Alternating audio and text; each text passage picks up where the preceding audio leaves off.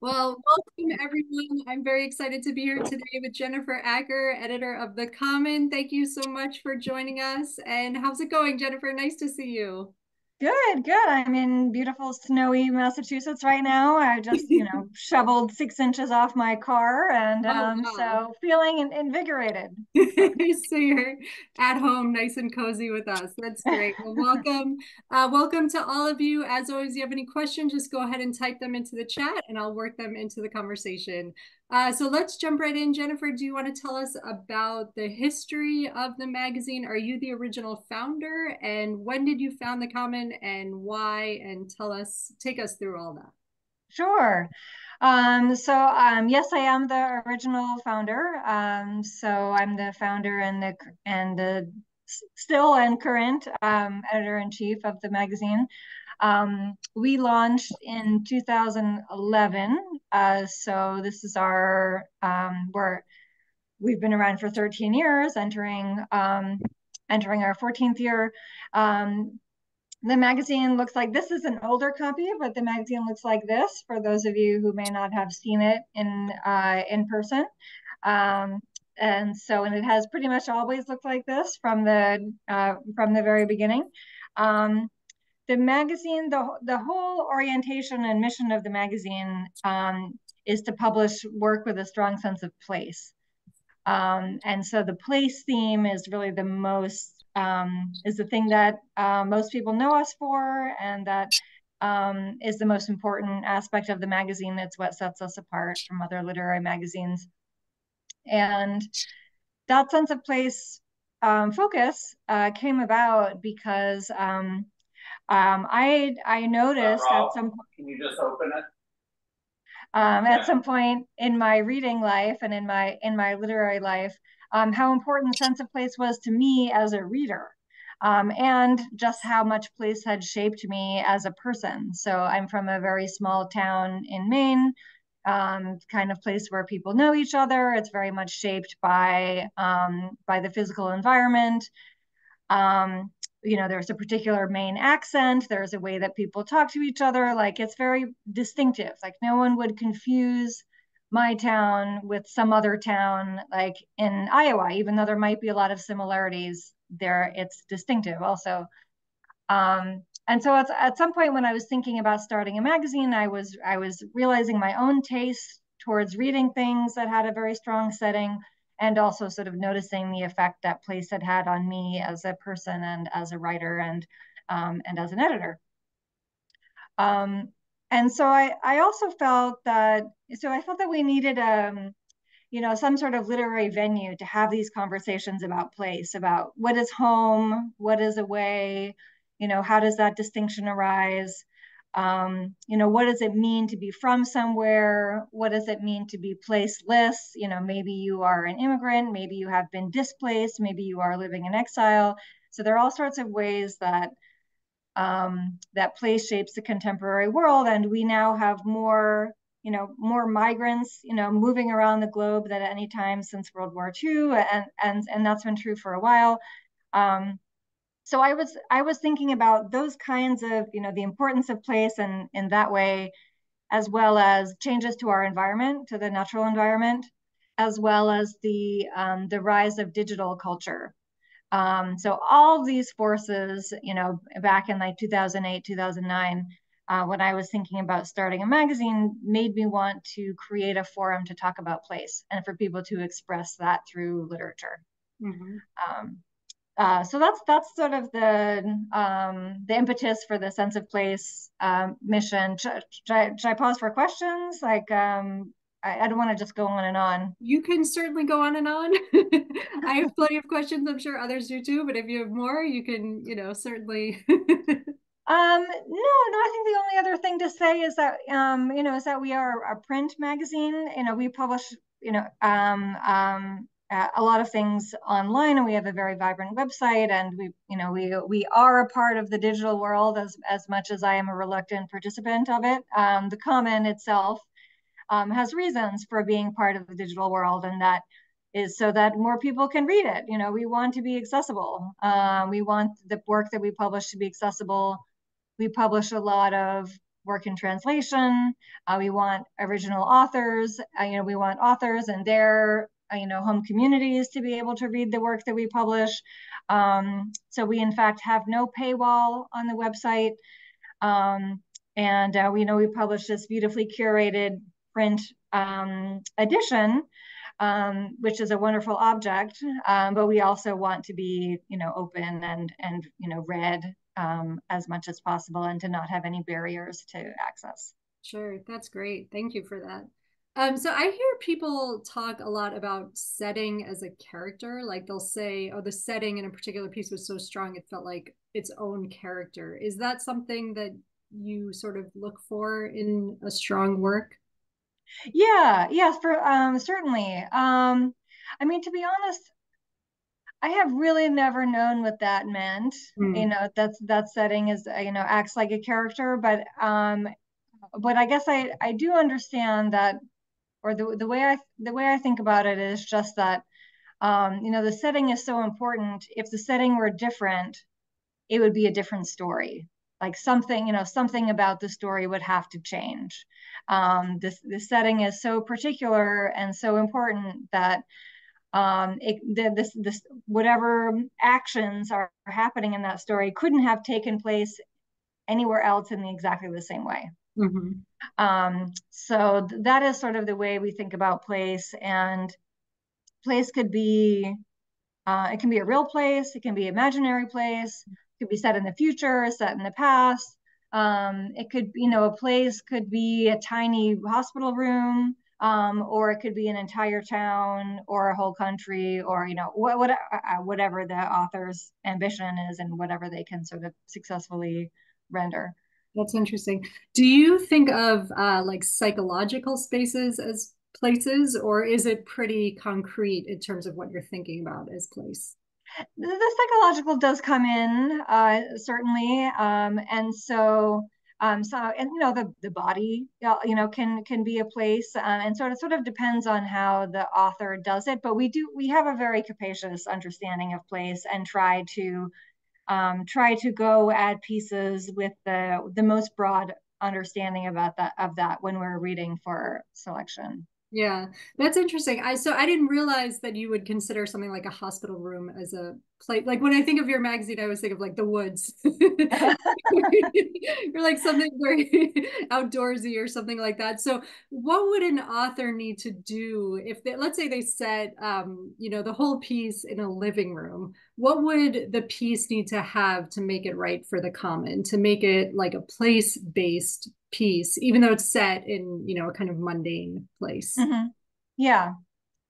Um, so I, I, think that if you know whatever the setting is, we're looking for the setting to be palpable. You know, the, the setting to be so there. There's a reason why we say sense of place because the senses are important in rendering a particular place. Um, and the, the senses, you know, one could argue are actually what uh, what creates a place, um, you know, or our understanding of it. Like the way that a, any given space becomes a place is through our sensory perception of it. So I'm speaking right now in this room. I can hear the, you know, how how large the room is by how my voice sounds in it, by how echoey it is or not, or where does the where is the sound bouncing off of you know, I have a sense of, you know, how warm the room is by how it how it feels on my skin. I have a sense of how big it is by like, well, it's bigger than my two arms stretched out to the side.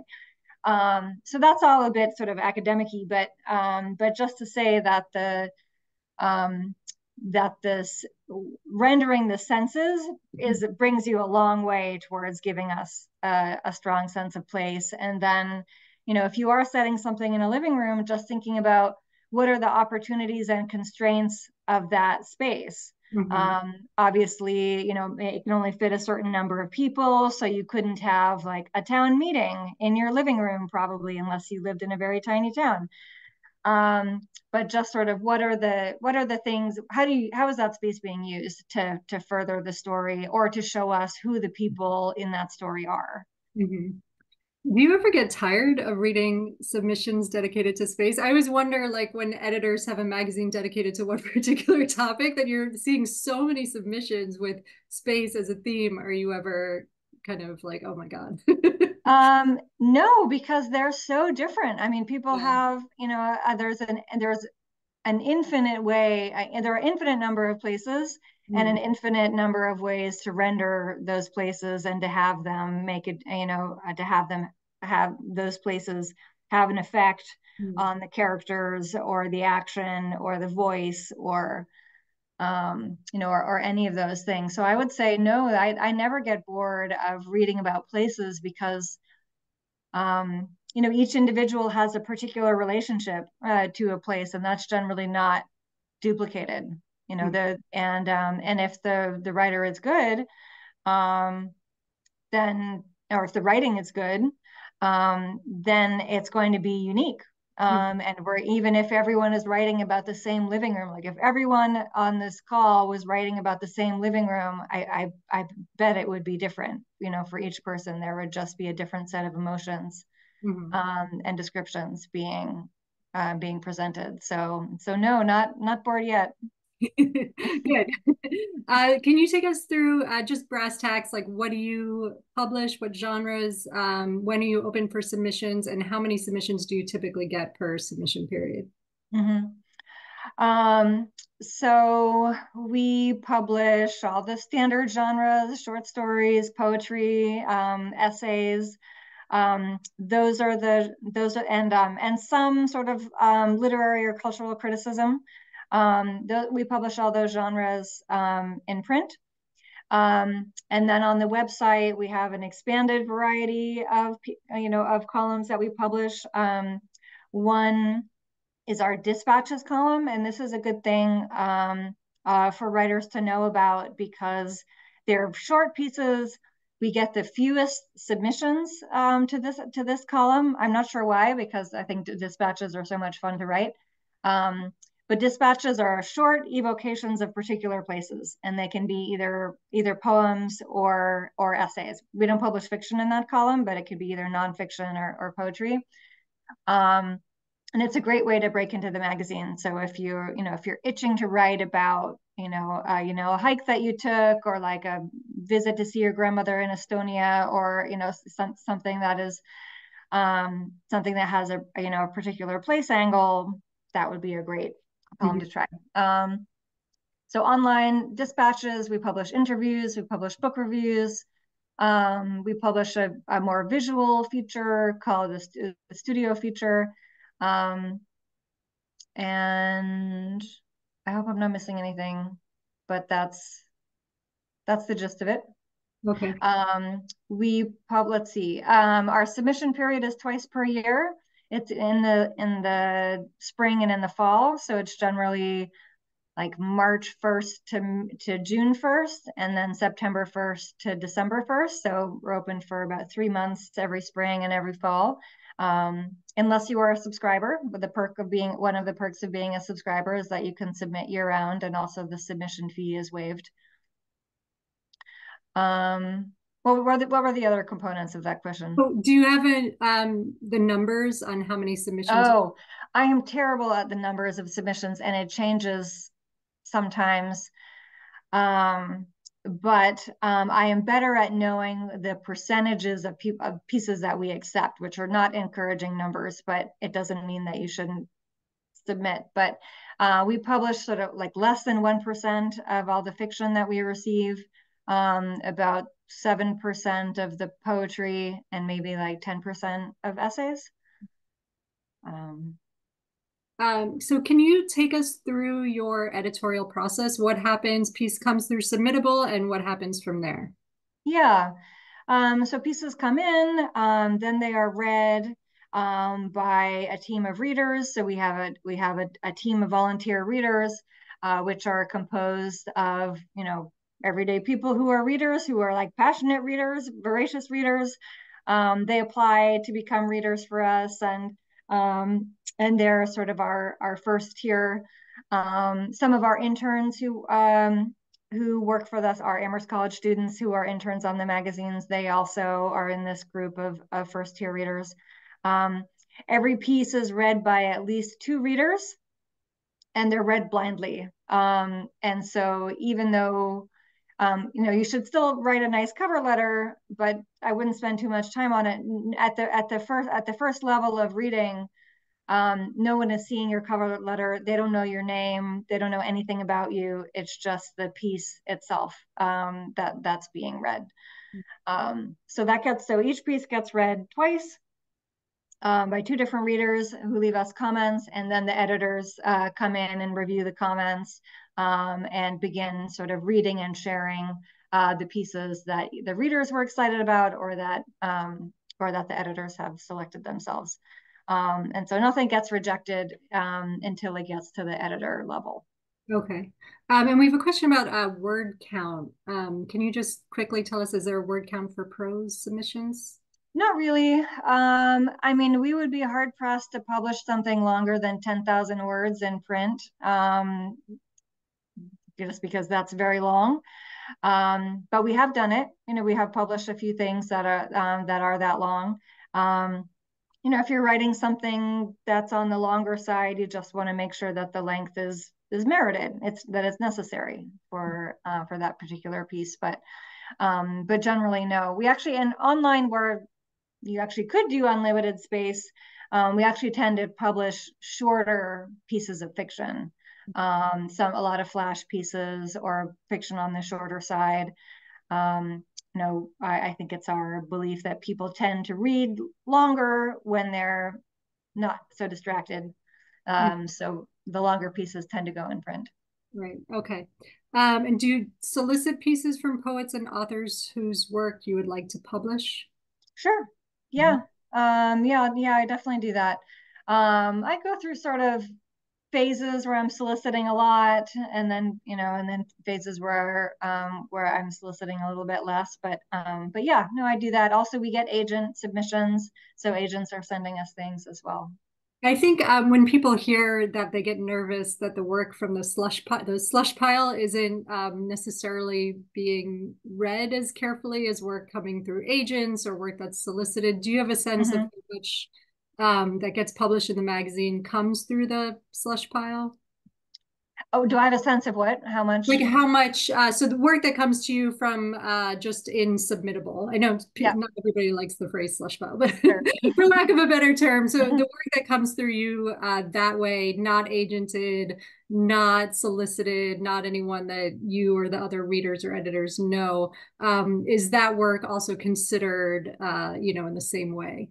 Yeah, yeah, absolutely. Um, and so it doesn't. Um, I mean, the the the unsolicited pieces don't come directly to me, whereas agented pieces do come directly to me. But um, um, but I'm not always the first read, even on those agented pieces. Like sometimes other people in the office are the first read on the you know um, on the agented pieces, uh, you know, as well. So I would say it, it, it certainly takes longer to go through submittable because of the volume of submissions that, you know, that, that we're receiving, but pieces are not getting any less attention. They're in fact getting more attention. Mm. Um, they're getting, you know, it's, they're getting read by, by more people. Um, but we are not at all dismissive of unsolicited pieces. We're very excited about them. We've published um, a lot of writers who we are, you know, who are thrilled to have published um, and um, who you know who we didn't know of before, and that how else are we going to get to know new writers? Mm-hmm. Is, unless we're unless we're reading you know the unsolicited um, uh, pieces. So we mm-hmm. get very excited about that, um, and absolutely you know put um, see that as a real place um, to to find things to publish. It's not just like oh we have to read this because you know we told people we would. Um, that's great. Um, and we have a question about book reviews. So, what is the process if somebody wants to uh, write a book review? Should they send you the whole review? Should they pitch the review first? Um, and do you publish unsolicited book reviews? Yeah, yeah, yeah. We're very interested in um, uh, in expanding our pool of reviewers. And the thing to do would be to send a, a pitch to our book reviews editor, whose name is Nina. Um, And um, you can do, we just, we have an email for that. It's just book reviews at thecommononline.org. Um, so you can just send um, a pitch to her um, and she will, she'll take a look and see whether, you know, see whether it fits and, and then, yeah, and then get back to you. Mm-hmm. Um, so if you encounter a great story, but the element of place is not strong enough in the story, will you reach out to that writer and encourage them to revise? Will you accept the story and work with them to draw out those elements, or how do you handle that? Yeah. Um, yeah, so some, something like that. Like if there's a story that we really love, but the place is a little latent and we feel like if it were stronger, it would also make the story stronger. Like we don't want to engineer a piece like an author comes to us with a brilliant story but there there's no sense of place like we don't want to manufacture something just for the sake of trying to get it to fit our magazine maybe it's just not a good fit for us and then we and then we have to let go of it and that's okay and that that happens um, but if there is a place that does seem relevant and interesting it just you know isn't heightened very much you know or, or you know or, or could be um, could be heightened more to the benefit of the story, then certainly uh, we'll go back to the author. Um, that would be just part of the normal editorial process. We do a lot of editing uh, and very in-depth editing uh, with our authors. So we're really reading for for promise and for potential rather than polish. Um, and so we'd much rather see, you know, um, an exciting idea or a really strong voice or a, a, situation that we haven't seen before, or just, you know, a compelling cast of characters or strong poetic voice. Um, you know, we'd rather we'd really like to see that and then work with the author on developing the um, the story. I mean, obviously, you should make it as good as you can before sending it out um, but we really relish the opportunity to work with um, to work with authors and do that um, pretty regularly. That's sort of um, uh, one thing that we do that a lot of magazines don't do is that sort of pretty heavy editorial investment. Yeah, I was just thinking that actually a lot of lit mags don't don't want to do that at all. So that's cool. So um so what would make you what is a story that you would take on um on that basis of promise like what is it that you see in that story that would make you take it on even though it's not quite ready to publish yeah so i mean i think it would be a story that captivated our you know our interest um and that the the characters were um you know were were tangible and plausible and um and you know we could uh, we were interested in them and wanted, you know, cared about them and wanted to see what, you know, what what they did and how how they did it. But maybe, um, maybe the story sags in the middle, like maybe it, it maybe it's a little long, um, or maybe there's a question of motivation. Like we really like the arc of that story, but I can't quite understand, you know, um, why the school teacher flunked her student. Like I thought that that that, that was a good student. Like, you know, if there are just sort of questions about about plausibility or motivation. Um, you know, we look take a strong look at the ending. Sometimes the ending doesn't, you know, doesn't always land quite as quite as strongly as we think it might. Mm-hmm. Um, and so, yeah, so we really can go a, a lot of rounds with uh, with an author if we think that um, if all of those other elements are are there, the place element is there, the and the writing is really strong. Um, and um, and we feel you know but, it's a conversation with the author. We would go to the author and say we think we this is what we love about the story. This is how how we think it's working. This is what we think it's about. Um, just to get a sense of to portray how we're reading it like you know this is um, this is how it's coming across to us we think these elements could be strengthened what do you think do you do you does that does that resonate with you do you do you want to work together um, most of the time people say yes not always. Sometimes the visions don't align, and and that's fine. Mm-hmm. Sure.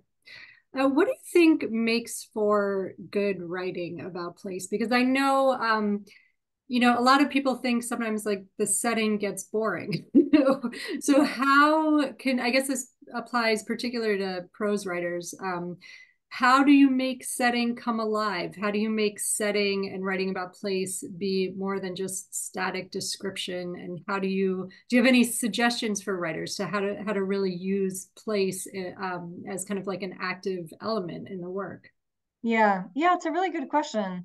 Um, yeah, I, I am not endlessly entertained by long paragraphs of description. Um, and so I, I wouldn't say that I I have a, a I do have a keen interest in it, but it's not necessarily what I'm looking for. You know, I'm not looking for someone to spend pages telling me what something looks like. Um, I think um, you know, re remembering that we have more than one sense. So, mm -hmm. like most people focus on sense of sight, um, but remembering that we have four other senses that are also really important. And so you don't have to spend sentences and sentences talking about how something feels, but or how something smells, but those are really important. So I would say first focus on all your all your senses and see what they can do for you. Um, um, and then I would sort of think about like what and if we're yeah if we're talking about about prose like what the what the characters um or even po poetry too but like what the effect of the spaces on the characters. Um so that's really what we're most interested in is like how is this place shaping the action shaping the people um shaping the mood? And so you know really thinking about um, how the space is affecting those people and what what they're noticing. Just by telling us what someone is noticing, you're telling us something about that person. Um, so sort of thinking hard about those those details um, is a is a way to make the setting both particular and important. Yeah, it's really interesting. I remember uh, um, I read somewhere that the setting is shaped by the character's desire. So whatever it is mm-hmm. that the character wants, that's sort of what they're seeing and noticing around them. And that just, it changed my life. just hearing, you know, because it's not meant to be just sort of static, you know, there was a tree, there was a river, there was a sun, you know, it's, it's part of the character's world, as you, as you said, right. part of the character's desire, their motivation, there's something actually like an active engagement there. Exactly. Yeah. Um, question, how important for the Common to publish international writers? Uh, very important. Um, so we, yeah, um, we publish a lot of works in translation. Uh, we have a, uh, that was one thing I forgot to mention. We actually have, we have a translations column. Um, and so we're publishing translations, you know, at the very least once a month um, online, but then, you know, often translations you know, make their way in, into print also. Uh, so we're very interested in international voices and work with a lot of translators That's great. all over the world to try to, um, you know, get those voices into the magazine and to present them in a way that they are sort of um, aligned next to all of the pieces written in English so that people, you're not really differentiating. Mm-hmm. Um, you know, you're not approaching something with that feeling of like, oh, this is going to be different because it's not from my native language. Mm-hmm. Um, so you know hopefully that helps broadens people's ex reading experience a little bit. What do you see a lot of in submissions? If you could tell the writers here like guys please stop you know just starting with a scene description or whatever it is like is there something that you see a lot of in the submissions that you could tell people about um, the only thing that I that I can really think of because I, I am not reading the the first tier of, of submissions so much um, uh, anymore, so I'm not getting I, I'm not the best person to answer that question because I'm not seeing the patterns in the same way that that some other people who are reading a, like a larger volume um, of those pieces. Um, I'm not seeing what they're seeing, but because we are a place-based magazine, we have gotten a lot of kind of travel writing type pieces like um, i went to morocco and this is you know what i saw. Um, and that could be a great essay. I'm not saying it couldn't um, but um, but it needs to have a little more than like i went to a place that was not my home and saw some things that were different from what i usually experience. Mm-hmm. so like that is the potential starting point for an essay, but it's not the whole essay. Right. Um, it has to be it has to be deeper than that. Sort of relatedly, what are common reasons for rejection?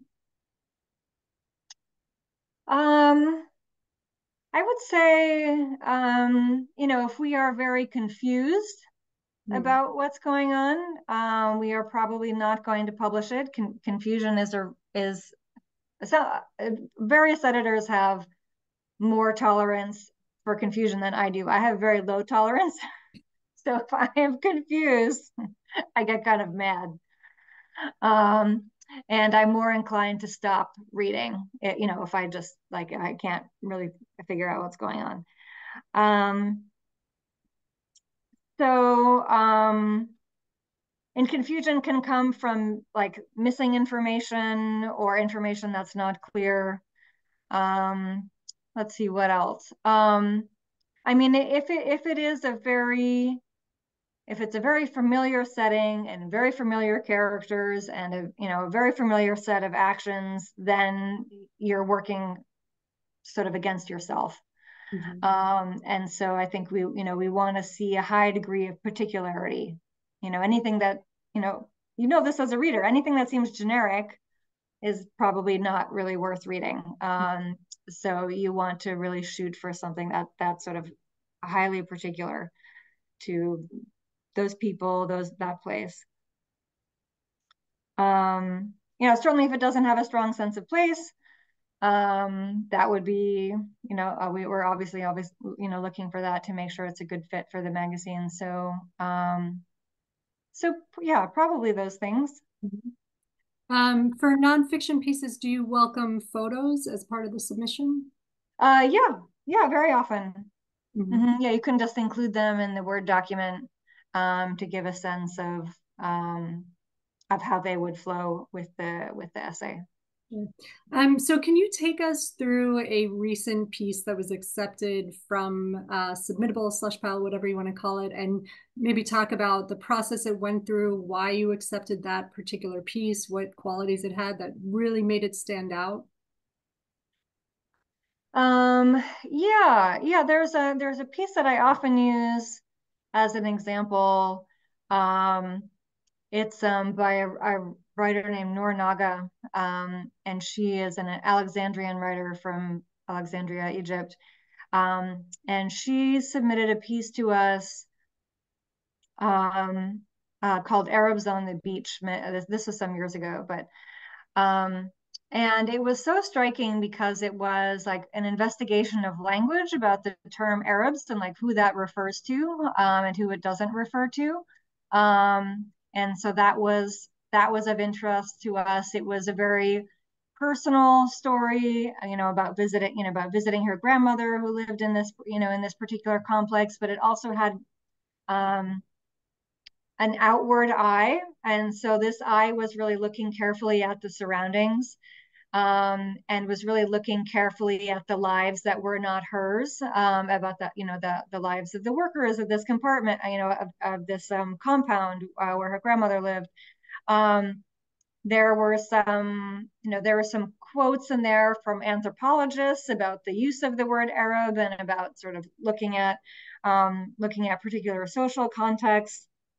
And so there were there was a lot going on, and you might think that there was a little bit, you know, too much, but she successfully wove in all of these elements: the personal, the political, the anthropological, the descriptive, um, in a way that we just thought was really fascinating. Um, and so there was um, there was a no, there was a level of explanation, but it was never didactic, and it was really just it was an exploration um, in a way that really took the reader along, you know, mm-hmm. on, on, on this personal journey. So um, yeah, I, I still love that piece. Mm-hmm. Um, in terms of the fiction and the nonfiction, I guess too. Um, do you publish experimental pieces or does it lean more toward character driven? I would say it leans more toward realistic and character driven, but certainly not all. Um, and so that's one of the reasons why it's good to have many editors and, you know, and, and not just one. So, um, you know, one of our prose editors um, is a poet. And so her, she leans, you know, much toward more towards um, um, towards hybrid essays or towards essays that are not maybe as explicit as I would want them to be in my very literal mindedness. Um, and so the way that she approaches pieces, you know, gives us more, um, I would say, formal experimentation.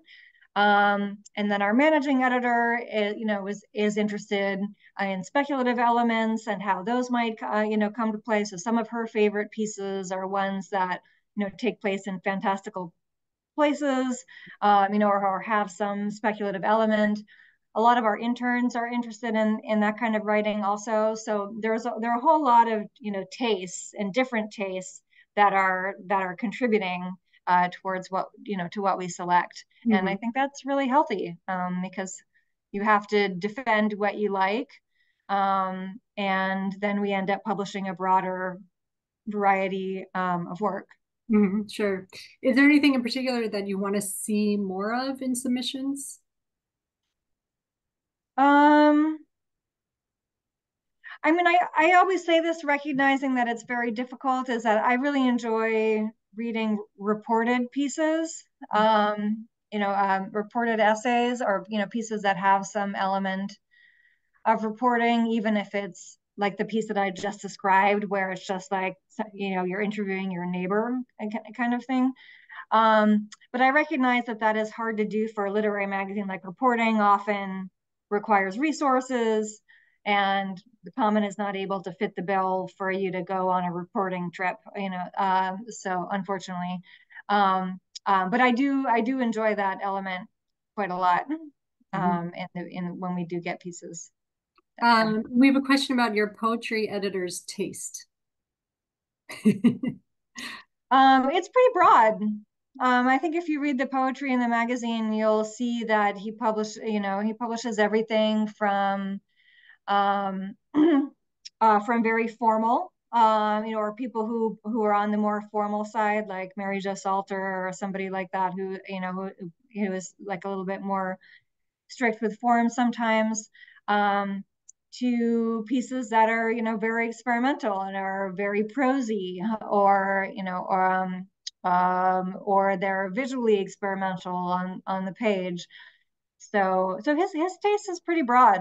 I would say there I have there's there's no kind of poem that he doesn't like. Um, so and, and I think he's very interested in in breadth and variety. Yeah. Um, I've noticed uh, the Common has kind of a long wait time on the writer's side of things to hear back for a submission. Can you tell us why that is? a little bit about what's going on on your side? um, it's just very high volume. Yeah. it's just it's just hard to keep up. Um, and you know we have had a little bit of uh, you know the the people who were sort of assisting with reading those the uh, with with that with those queues. Um, there has been a little bit of turnover there where people have had to step aside for family reasons or something. So, you know, it's really just sort of like you know, we're slow because we're running a magazine and we're trying to keep up with reading the queue. Um, uh, and sometimes, yeah, there are sort of personnel changes, you know, where people are, um, you know, sh shifting and, and moving around. But um, but we we we are working hard to catch up. Um, and so I think, you know, over the last couple of months, we have made a lot of progress, both the fiction queue and the nonfiction queue um, and we will, you know, we're working on on on getting better. Sure. Um, do you have any policies if a writer receives a rejection letter? Do you want them to wait six months before trying again? Um, should they just keep trying? Do you have any great stories about writers who were repeatedly rejected but then kept sending you work and then one day something clicked? Yeah, absolutely. That happens all the time. Uh, that people send us pieces, you know, and you know the first and second pieces aren't right for us, but the third one is. Um, and so yeah, there's there's no waiting period. If you get a if you get a rejection letter, you know, you can send us something the next day as long as you have something that's ready. Mm-hmm. Um, so I would say, you know, especially if you get an encouraging rejection, that's a very serious expression of wanting to see more work from a writer. Um, and um, and I would say yeah, just keep sending. Mm-hmm. Um, no no reason uh, no reason not to. That's great. Um, so do you have any advice for writers? Let's say they're hearing this, they're thinking this sounds great. You know, I think I have a piece that's perfect for this magazine. Do you have any advice in terms of what they should look for before they hit submit? One final read through, any particular, you know, something like, oh, I see so many stories that start too late or start too early or double check your ending um, just something where you see a lot, you know, stories that are almost there. If only this writer had done this one thing. Mm-hmm. Um, any suggestions like that? Um, well, the, I mean, the first couple of pages definitely are important.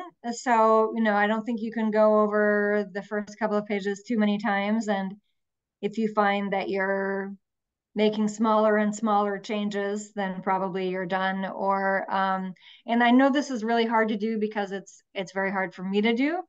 Um, but if you can set the piece aside for, you know, at least a week, um, you know, ideally long enough that you have forgotten you've written it, um, then I think that's the best check. You know, if you can, if you can, if you can bear to set it aside for a month, three week, three or four weeks, mm-hmm. and come back to it and give it a read uh, with fresh eyes, or read it aloud to yourself, or you know, do something to make it make it different um, to your make it unrecognizable to your brain, um, then I would say that's like that's the thing to do. That mm-hmm. that's the that's the final check. Um, yeah. It's just is is putting it aside.